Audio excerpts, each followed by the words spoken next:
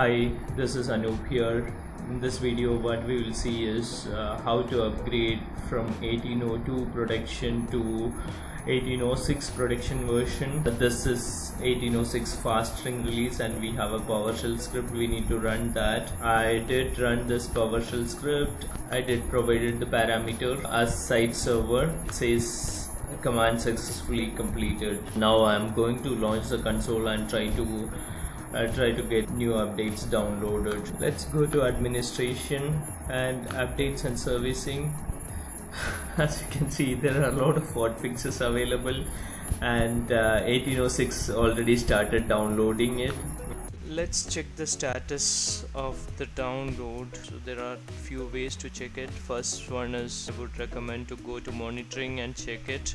As you can see it should be it should be downloading redistributable files now. There are two logs mentioned over here in this. One is config mgr setup.log and the other one is dmp downloader. So config mgr setup.log you can see it is getting downloaded. Redistributable files are getting downloaded.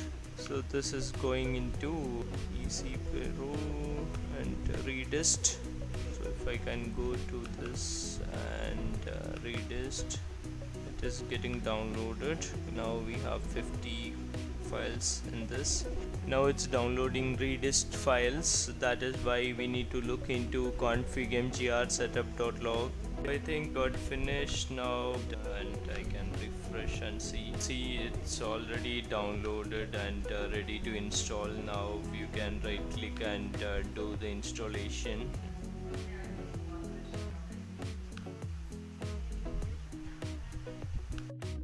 So it started installing now